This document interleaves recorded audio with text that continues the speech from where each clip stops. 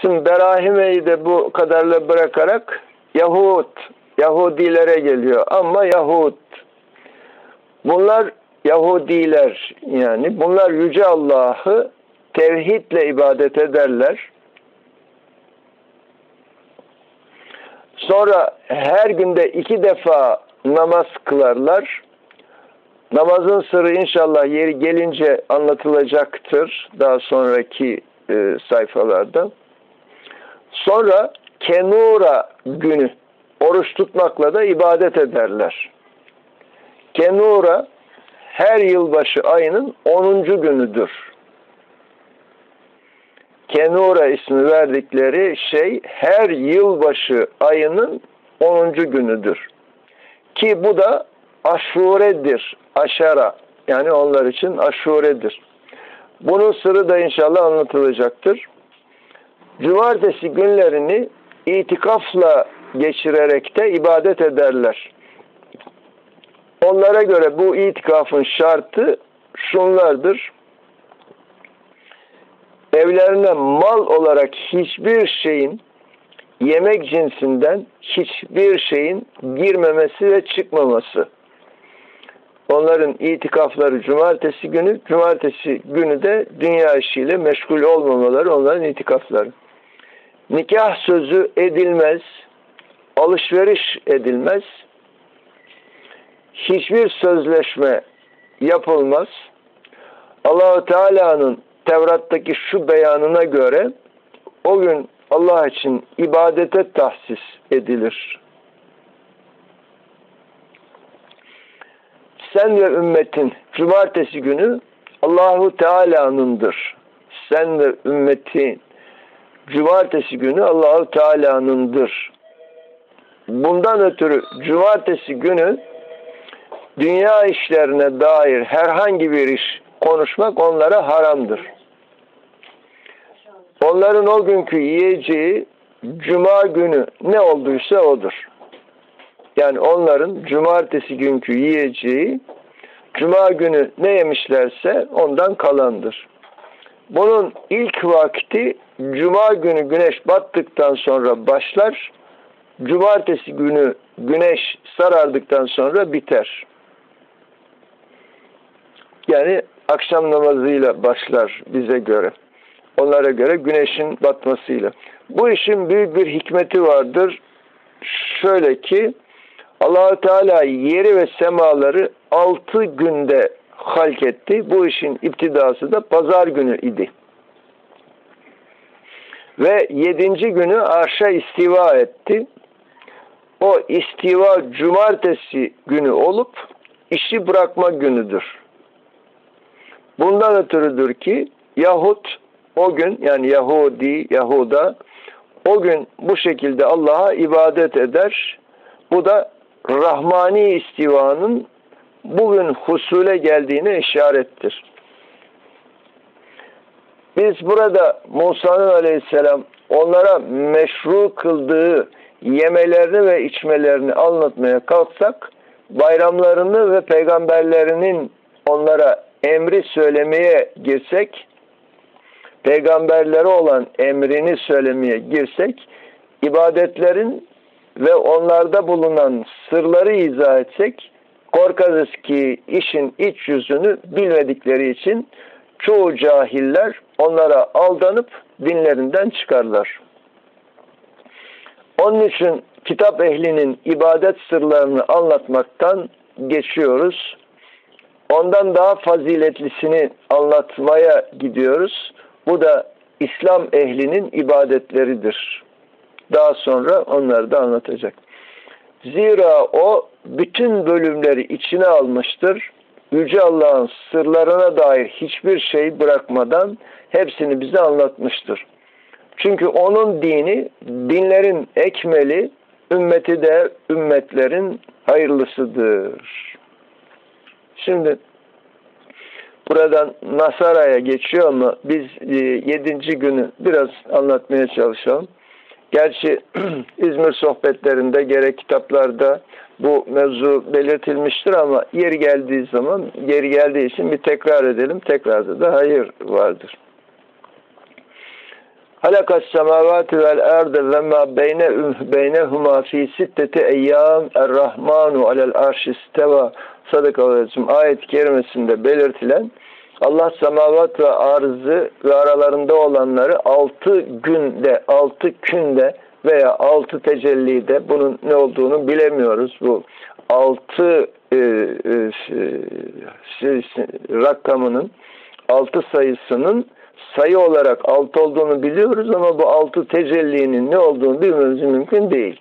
Bazı alimler künü gün olarak okumuşlar. Altı gün. Eyyamu Allah diye yani Allah'ın günleri diye söylemişler. Altı gün yani altı ol, altı defa ol, ol, ol dedi. Bu alemler meydana geldi diyenler de olmuş. Ee, ve altı tecelli diyenler de olmuş. Bunun izah yeri şu anda değil burası.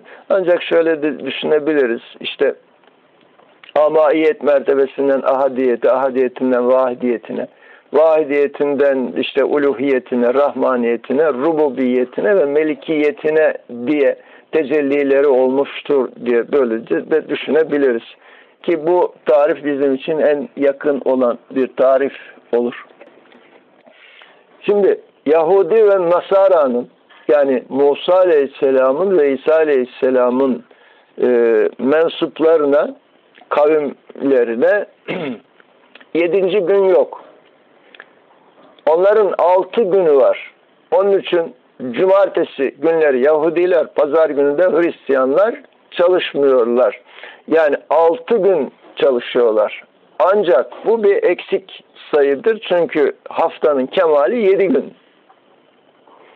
İşte yedinci gün biz müminlere ait ve çalışmak suretiyle ait.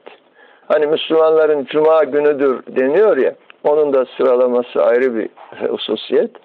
Cuma ayetinde namazınızı kıldıktan sonra yeryüzüne dağılınız, yerlerde ve göklerde rızkınızı arayınız diye bize çalışmayı e, emrediyor Kur'an-ı Kerim. Yani Müslümanlar yedinci gün ehli. Müslümanlardan evvel diğer e, kavimler, diğer işte insanlar altı gün ehli. Bakın bizim kemalimiz onlardan ne kadar yüksek bir derecede. Yedinci gün ne günü? Fesat günü. Yani fiskı fıcı, fücur manasına değil. Fesat bozma, bozulma manasına ya. Kevin olma, e, fesatta bozulma ve bütün alem kevin ve fesat olarak her an zaten bu iki hükmü birlikte yaşıyor. Bunların bir tanesi tekrar etmesi hayat o anda durmuş olur. Bütün alemlerdeki hayat yok olmuş olur. Şimdi onların altı günleri var. Yani bu alemlerin oluşması ama eksik tarafları her oluşumun da bir sonu olması yani fesat yani bozulması olması mutlak olduğundan onlar bu bozulma yani son alemin son halinden haberleri yok. Ne zaman haberleri olur? Müslüman oldukları zaman. Müslüman olmazlarsa altı gün, altı gün hükmüyle giderler. Neticeleri de e, tahakkuk etmemiş olur. İşte bu altıncı gün Peygamber Efendimizin dünyaya gelmesiyle ve kendisine risalet vermesi suretiyle altı gün, altı günün süresi sona erdi, yedinci gün başladı bu alemde.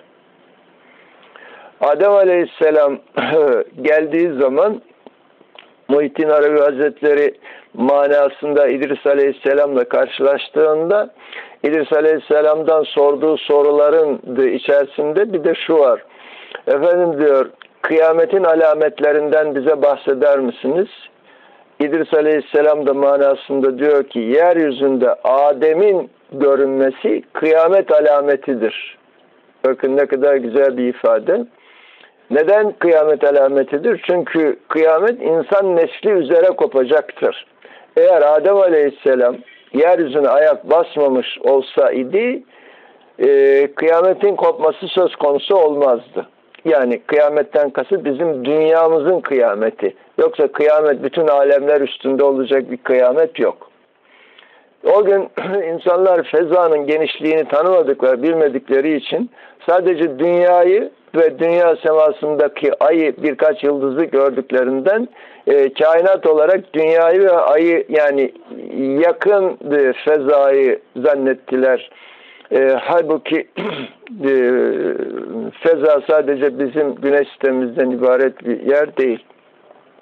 Eğer bütün alemlerin kıyameti tüm olarak e, kopacak olsa böyle bir şey yahut düşünecek olsak o zaman Cenab-ı Hakk'ın isim ve sıfatlarının zuhur mahalli kalmayacağından Allah'ın varlığı da ya amaiyet hali gibi yok olmuş olacaktır. Böyle bir şey de söz konusu olamayacağından e, netice itibariyle kıyamet vardır ancak mahalli olacaktır. Bu alemde görülen bütün gezegenlerin bir sonu olacak. Hepsinin kıyameti olacak ama hepsi birlikte değil zaman içerisinde olacaktır. Ancak onlar bizi ilgilendirmediğinden biz üzerinde yaşadığımız e, olan bu dünyamızla ilgili olduğumuzdan bize lazım dünyanın kıyameti. Ancak gelecekte olacak diye belirtilen e, kıyamet de dünyanın tamamen un ufak olması, yok olması, e, yanıp gitmesi ya bozulup gitmesi e, değil, coğrafyasının değişmesi olacak. Daha bizden sonra e, dünyanın üzerine nice nice nice Ademler, nice nice İbrahimler, nice nice Muhammed Aleyhisselamlar gelecekler, gidecekler. Çünkü sonsuz olan bu evrende e, sadece biz içinde yaşadığımız bu işte yaklaşık 10 bin senelik bir süre için mi bu dünya halk edildi? İnsan gittikten sonra kıyamet kopacak mı? Da kopmayacak. Cenab-ı Hakk'ın tecellisi sadece bizim seyrimizi sürdürmek için mi var? Ee, başka bir seyre e, şeysi yok mu? Gücü yok mu Cenab-ı Hakk'ın? Eğer dersek ki bu dünya bitecek, bizimle beraber kıyamet kopacak, o zaman Cenab-ı Hakk'ın bu acziyeti olmuş olur. Haşa böyle bir şey de düşünemeyiz. Bizim kıyametimiz kopacak, belirli bir süre e, dünya ne kadar olacağını bilemiyoruz, kaç milyon sene kendi kendini yeniden gençleştirecek. Yani yeniden kendini de olgunlaştıracak. Çünkü biz bu e, dünya denen bu varlığı, e, bu bu canı kullanıyoruz. Midesinde ne varsa çıkartıyoruz. Dışında ne varsa yakıyoruz, yıkıyoruz. Öyle bir israfça davranıyoruz ki kısa zamanda biz sebep oluyoruz onu yok etmeye. Ağaçlarını kesiyoruz, sularını kirletiyoruz Yapmadığımız kötülük yok insanlık alemi için üzerinde yaşadığımız dünyaya. Dünya da bizim gibi bir canlı, cap canlı bir organizma. Eğer canlı olmasa kendisi üzerindeki canlı varlıklar nereden meydana gelecek? Hani tabiatçılar e, varlıkları ikiye ayırıyorlar ya canlı varlıklar, cansız varlıklar. Tabii onların dış görüntüsüne göre bakıyor batınından haberler olmadığı için böyle hükmediyorlar bu alemde cansız hiçbir zerre yok, hiçbir nokta yok. Hiçbir hücre yok, cansız, hiçbir varlık yok. Mevlana Hazretlerine de öyle demişler. Yahut o demiş. Diyor ki, ey tabiatçı, sen bu alemi ikiye ayırıyorsun canlı ve cansız varlıklar olarak. Eğer bu alem cansız olsaydı, insan gibi bir canlıyı nasıl meydana getirirdi diyor. Canlıdan canlı çıkar ancak. İşte onlar öyle diye dursunlar. Nasıl bizler birer fert olarak e, kendi sistemimize göre bir yaşantımız var. Şakuli olarak yaşıyoruz yani dikey olarak hareket ediyoruz dünyada sistemi itibariyle var edilişi, hayat e, oluşu itibariyle yuvarlak dönerek hayatını sürdürüyor. Biz yürüyerek ayak üstünde geziyoruz. O da kendi yörüngesinde işte birçok ayetlerde de belirtildiği gibi kendi yörüngesinde yuvarlak dönerek hayatını sürdürüyor. Tabi her şey Cenab-ı Hakk'ın yedik kudretinde, kudret elinde beşer akıllarımız hayrette kalıyor. Ama tefekkür ehli olan için bu hayret. Yoksa insanlar her gün gördükleri güneşin doğuşundan haberleri yok. Her gün yağan yağmurun farkında değiller. Her gün işte e, aldığımız oksijenden, hava, havadan havanın farkında değiliz. Neden? Çünkü çok tabii olarak ve çok bol olarak kullanıyoruz. Cenab-ı Hak şükrünü eda edenlerden eylesin inşallah bu nimetlerin. İşte e, nasıl ki Adem Aleyhisselam'ın yeryüzünde görünmesi kıyametin alameti ise Peygamber Efendimiz'e ikra gecesi verilen o lütuf ile Cebrail Aleyhisselam'ın gelmesiyle velayetinden nübüvvetine geçiş ile, risaletine geçiş ile Peygamber Efendimiz daha evvel veliydi. Muhammedül Emin olduğu devreler onun velayet devreleriydi veliliği olmayanın peygamberliği olmaz zaten. Yani peygamberlik velayet üzerine bina edilmekte. İşte nübüvvetinin ve risaletinin başladığı o gün ve o saatte ya alemlerde o kadar büyük inkılaplar oldu ki birincisi büyük inkılap Kur'an-ı Kerim'in yeryüzüne gelmeye başlaması. İkincisi peygamberlik hazıratının sona ermesi yani en sonuna gelmesi. Üçüncüsü Peygamber Efendimizin alemlere rahmet olması. Bakın dünyaya rahmet değil sadece. Peygamber Efendimiz Mekke Medine'de yaşadı. Ondan başka bir yere de gitmedi yani o çevrelerde. Gerçi Miraç'ta bütün alemleri gezdi ama o ruhani bir haldi. Batında olan bir haldi. Fizik olarak o civarlarda yaşadı. O zaman e, o fizik olarak onu düşünürsek sadece o civarlara rahmet olması gerekiyordu. Ama bütün alemlere rahmeten lil alemin ve ma erselnake illa rahmeten lil alemin olması dolayısıyla bütün alemlere rahmet oldu. İşte e, o da hakikati Muhammediye yönüyle bütün alemlere rahmet olması. Bizle ilgili işte tarafı kendisine nübüvvet ve risalet verildiği o gece yedinci gün başladı. Bakın. Yani kıyamet süresi Peygamber Efendimizin Kur'an-ı Kerim'i almaya başlamasıyla yani zati tecellinin zuhura gelmesiyle kıyam yani ayaklanma süresi ayağa kalkma süresi yani idrakte ayağa kalkma süresi başladı. İşte bu e, olağanüstü bir hadise, e, gerçekten çok mühim bir hadise. Ama bu hadiseyi gerçek manasıyla anlayabilmemiz için bunun hakikatini biraz tefekkür etmemiz gerekiyor. Yoksa işte Cebrail geldi, ikra oku dedi, ben okuyamam dedim. Hikaye şekliyle e, böylece anlarsak o bir hikaye olarak duyarız, kulağımızdan geçer gider. Ama hakikatini yaşamamız gerekiyorsa Kime ki bu ayeti kerime e, ömrü hayatında gerçek manada geldi, işte onun da kıyameti o zaman başladı. Neyin kıyameti? Nefsinin kıyameti başladı. İşte biz nefsimizin kıyametini bugün kopartamazsak, yani onu hükümsüz, kıyametten kasıt hükümsüz halde kalması. Hükümsüz hale getiremezsek öteki alemde de getirmemiz zaten mümkün değil. İşte tevhid hakikatleri bizlere bunları anlatıyor. Genel anlamda zahirde olan büyüklü küçüklü bütün yaşanmış ve yaşanacak sistemlerin birey olarak kendi varlığımızda yaşamamız bize bütün alemdeki yaşantının hakikatini kazandırmış olacaktır veya olmaktadır. İşte kim bu hakikatleri de kendi bünyesinde ikra etmeye başladı, kendi bünyesinde de tatbik etmeye başladı.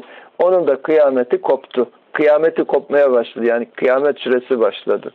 İşte bu süre devam ediyor. Biz şu anda yedinci günün insanlarıyız. Yedinci günün ümmetiyiz. Diğer ümmetlerin bu hususiyetleri yok. Bundan büyük de bir nimet olmaz. Çünkü e, bir e, şeyin en mühim olan hadisesi sonunu getirmektir. Bir şeye çok güzel başlanır ama sonu gelmezse onun kıyameti kopmamış olur. Kıyameti kopmamış olduğunda da hakikati ortaya çıkmamış olur. İşte bu hakikatleri ortaya çıkartmamız bizim de kemalatımız e, olacaktır. Yani insanlık aleminin kemalatı olacaktır inşallah. Her birerlerimiz e, şöyle tabir etmişler. Kıyamet zatın zuhuru sıfat saltanatının sönüşüdür diye ifade etmişler. O halde biz de her birerlerimiz kendi varlığımızda Cenab-ı Hakk'ın zati zuhurunu ortaya çıkarmaya çalışırsak o zaman isimlerin, e, e, fiillerin, isimlerin, sıfatların saltanatı sona ermiş olacak. Ki biz o zaman zat ehlinden, zatiyundan olmuş olacağız. Ki gayemiz o zaten. E, fiil ve isimlerin e, teferruatında, kesretinde kalmayıp e, sıfat ve zatın hakikatine yönelerek vahdeti vücut hükmünü kendi bünyelerimizde yaşayabilmek. Vahdeti vücudu vahdeti şuhuda dönüştürmek suretiyle gerçek manada tevhid ehli olmak. İşte bunun tamamlanması da yedinci güne bağlı. Nasara e, ve e, Yahut, Yahuda, Yahudiler bunun bu ilmin farkında değiller. Bunu bilmeleri mümkün değil. Demin dediğimiz gibi en kemalli oluşum e, herhangi bir kitap yazılmışsa, herhangi bir fiile başlanmışsa, herhangi bir işe başlanılmışsa o işin yarım kalması değil, o işin tamamlanmasıdır kemal olan. Kitap yazıldı bir yere kadar ama netice verilmedi, neticeye bağlanmadı. E, o kitap bitmiş bir kitap olmaz. İşte bizim de hayat kitabımız, hayat seyrimiz e, kıyameti ilahi ile yani zati tecellinin üzerimizdeki zuhuru ile o zaman isimler, sıfatlar, fiillerin kıyameti kopmuş, zatımızda baki kalmış olacağız. İşte diğer e, kavimlerin böyle bir şeysi yok, imkanı yok. Bu ümmeti Muhammed'e has ve Peygamber Efendimiz'den bizlere nakledilen bir güzellik inşallah. Böylece e, kıyametin on alametinden de bahsedilir. Onlar işte gelecekte e, görülecek şeylerdir. Onlar daha ziyade yani kapanma yönündeki alametleridir. Yani son bitiş alametleridir.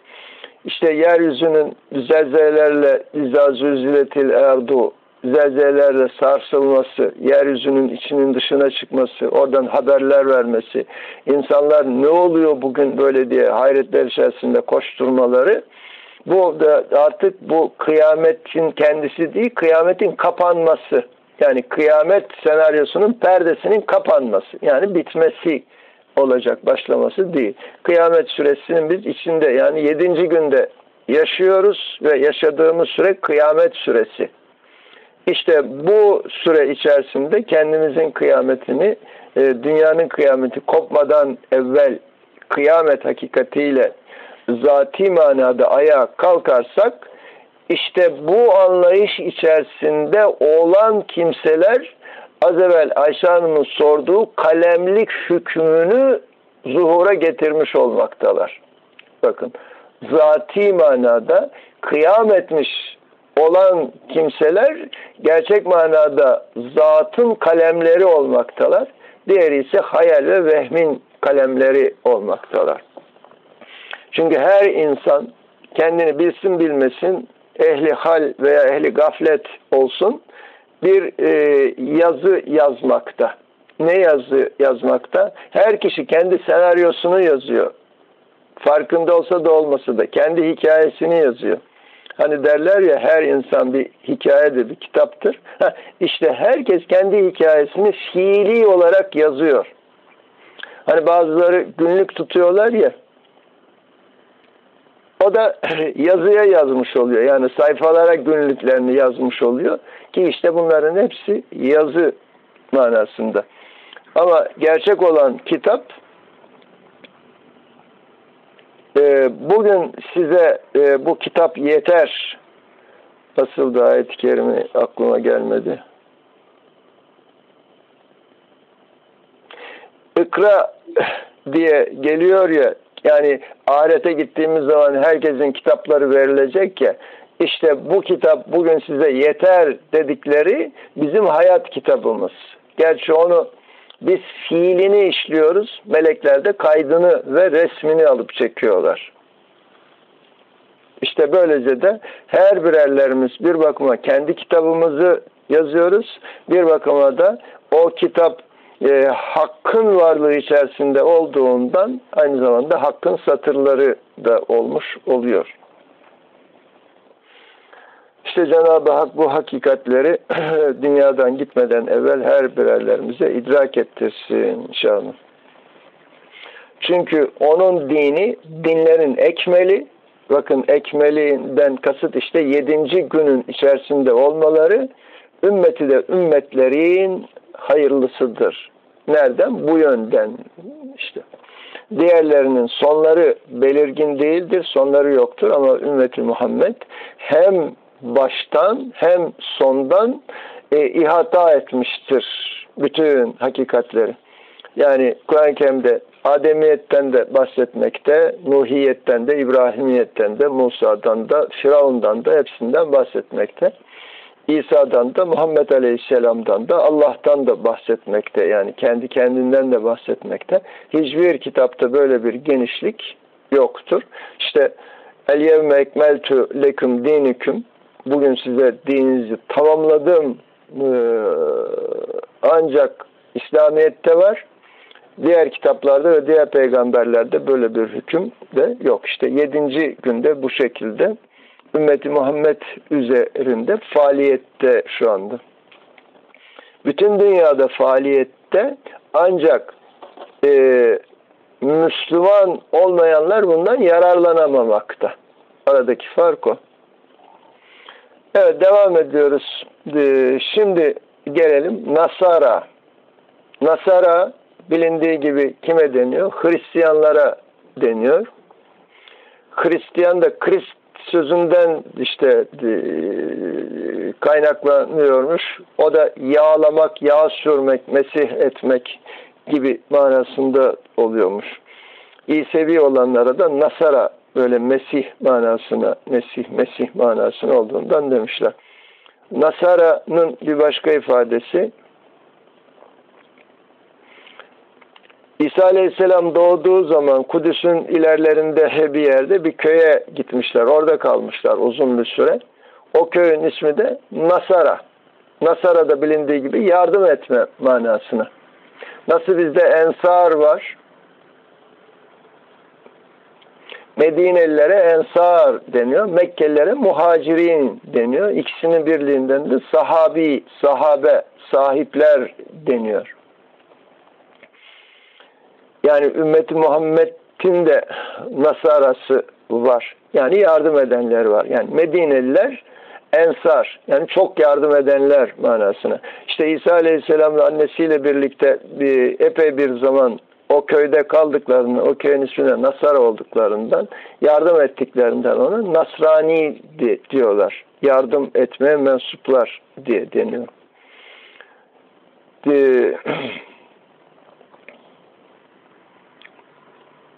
Bir de Hristiyan diyorlar işte o Krist kökünden. Bir de İsevi diyorlar İsa Aleyhisselam'a atfen. Yani onların da üç ismi var. Bunlar geçmiş ümmetlerin yüce hakka en yakın olanlarıdır. Bunlar Muhammedilerden arttır. Yani Muhammedilerden aşağıdadır.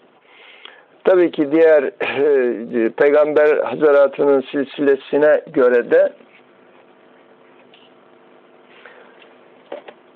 sırasıyla geldiğinden Peygamber Efendimiz'den bir evvelki peygamber İsa Aleyhisselam'dır ve onlar tevhid hakikatine en yakın olanlardır ki sırayla gitmekte.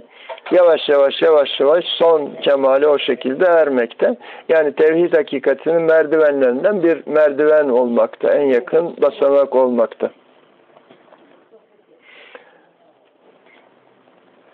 Bunlar geçmiş ümmetlerin yüce hakkı en yakın olanlarıdır. Bunlar Muhammedilerden arttır. Sebebi Allahu Teala'yı talep ettiler. Ama ona İsa, Meryem ve Ruhul Kudüs te ibadet ettiler. Eba, Ebi ve Ruhul Kudüs hükmüyle. Sonra bunlar ayrı ruhtur, bölünme yoktur dediler.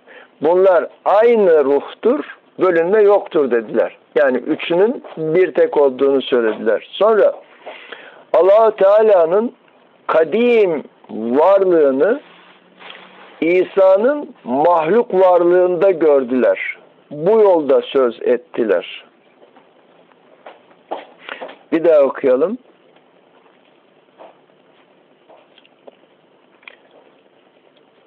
Bunlar aynı ruhtur, bölünme yoktur dediler. Yani bunların hepsi ruhul kudüstür, tektir, bölünme yoktur dediler.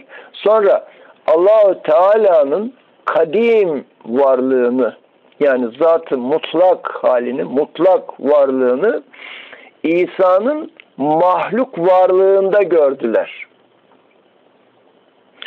Bu yolda söz ettiler. Bütün bunlar teşbih içinde tenzihtir.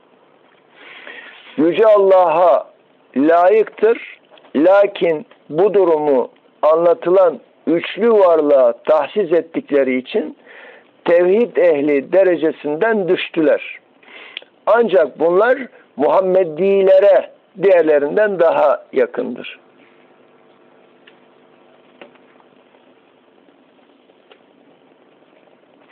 Şundan ki Allah'ı insanda müşahede edenin müşahedesi kemal itibariyle Allah'ı mahlukatın diğer çeşitlerinde müşahede edenlerin tümünden daha üstündür.